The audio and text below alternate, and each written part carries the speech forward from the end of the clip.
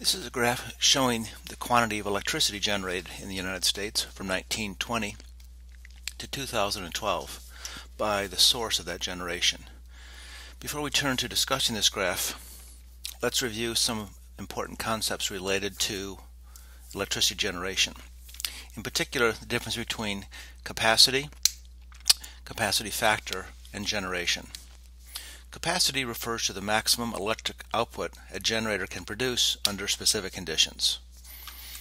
You may have heard of the term nameplate capacity, which is determined by the generator's manufacturer and indicates the maximum output a generator can produce without exceeding design limits. So, for example, if a gener generator has a nameplate capacity of 1 megawatt, that generator can produce 1 megawatt continuously at maximum output. Generation refers to the amount of electricity a generator produces over a specific period of time. For example, a generator with 1 megawatt capacity that operates at that capacity consistently for one hour will produce 1 megawatt hour of electricity. If it operates at only half that capacity for one hour, it will produce 0.5 megawatt hours of electricity. So an important uh, point here is that capacity is a measure of power and is measured in watts, whereas generation is a measure of energy flow or electricity generation and is measured in megawatt hours or kilowatt hours, which is a measure of energy, not power. Now, many generators do not operate at their full capacity all the time. They may vary their output according to conditions at the power plant, fuel costs, and or as they're instructed from the electric power grid operator. This highlights the notion of capacity factor, which is a measure of how often an electric generator runs for a specific period of time. It compares how much electricity a generator actually produces with the maximum it, it could produce at continuous full power operation during the same period. In the United States, Generators with relatively low fuel costs are usually operated at, to supply baseload power and typically have high average annual capacity factors. So, for example, net nuclear power has a capacity factor of about 90% in the United States, and coal has a capacity factor of about 64%. Natural gas has a capacity factor of about 42%, and hydro comes in at about a 40% capacity factor. Oil fired generation has a capacity factor of less than 10% due to the fact that oil is not used for baseload power and is simply used called it is called into action during peak demand periods and so much of the oil generating capacity lies idle for much of the year. Wind energy has a capacity factor of about 30%, due largely to the fact that it is an intermediate source of energy. So, in the United States, in 1920, there was about 1 gigawatt of installed capacity. A gigawatt is 10 to the ninth watts. By 2012, installed capacity had risen to 1 terawatt of power, which is uh, a terawatt is 10 to the 12th watts. So that the increase from 1920 to 2012 in installed capacity amounted to a 1,000 fold increase in installed generating capacity. In terms of actual kilowatt hours generated, there were about 39 gigawatt hours of power generated in, two, in 1920 that increased to uh, about 4 terawatt hours in 2012. And that represents about a hundredfold increase. So let's uh, keep in mind that number 4 terawatt hours, which is the current rate of electricity generation. And this upward trend uh, in this graph indicates or shows this trend starting out here at about 3 39 gigawatt hours in 1920 and increasing very sharply up to over 4 terawatt hours in 2012. The next graph uh, presents the same data but instead of looking at the actual quantity generated, looks at the shares of the different sources used to generate power. So in this case, the vertical axis is the percentage of net electricity generation accounted for by a particular source, again over the period 1920 to 2012. In the early, early part of the 20th century, coal and hydropower dominated electricity generating uh, uh, generation, accounting for over 90% of the total. By 1960, they still accounted for about 70% of the total, although hydropower's share had dropped to uh, about 20%.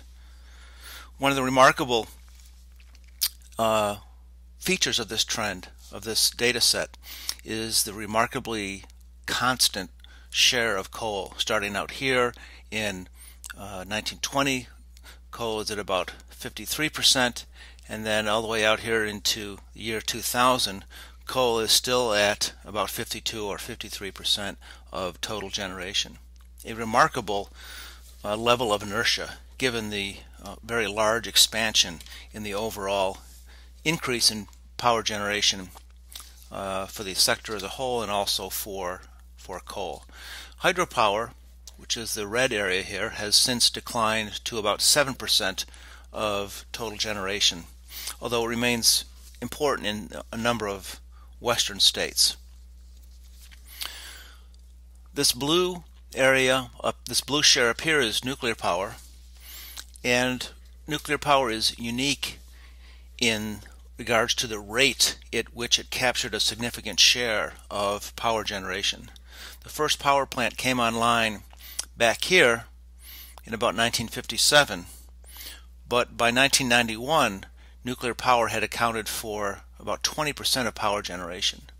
And that's the fastest that any new source of electricity generation has captured such a uh, significant share. It has since plateaued at about 18 or 19 percent, uh, due largely to the fact that no new nuclear power plants uh, are being built. Despite the uh, stoppage in the construction of new power plants, nuclear power has been able to maintain a relatively constant share due to what is called uprating at uh, existing nuclear power plants, which refers to physically modifying a plant to increase its generating uh, capacity. The increase in nuclear power came at the expense of oil and gas. You can see oil, which is this uh, purple share here, uh, decreased significantly in share in the 1970s, and to a lesser extent, so did uh, natural gas.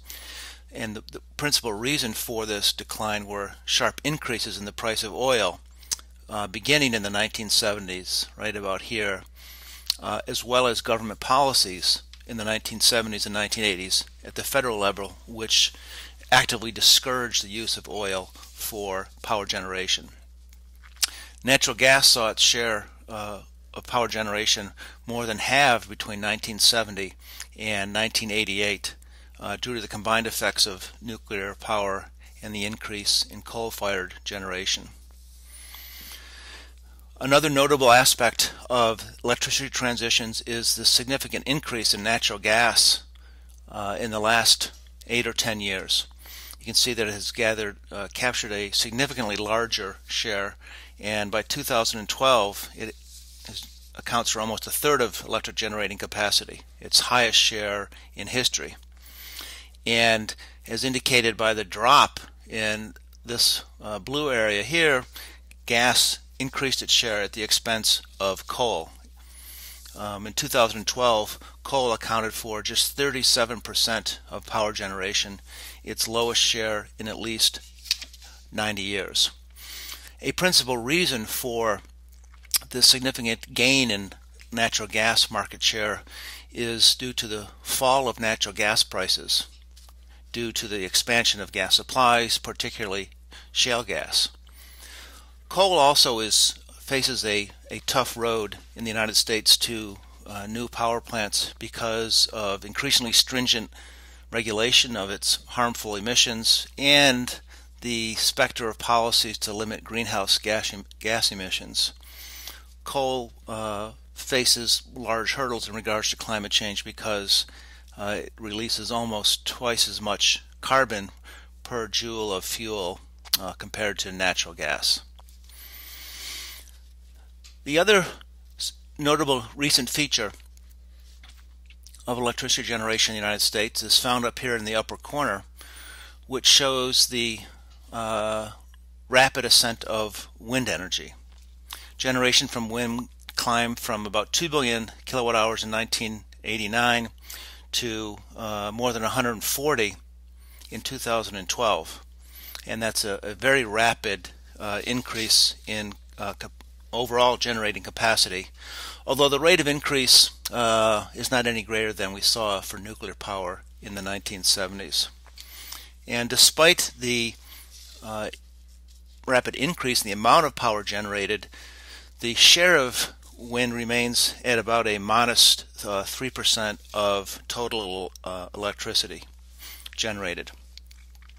So, uh, one of the uh, final notes to make about this graph is what it will take for any new source of power or even an existing source of power to expand, what it would take for such a source to capture a significant fraction of the uh, generation.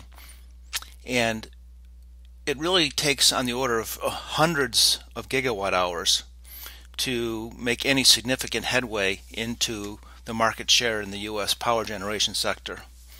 100 gigawatt hours represents about 2.5% of current generation of 4 terawatt hours.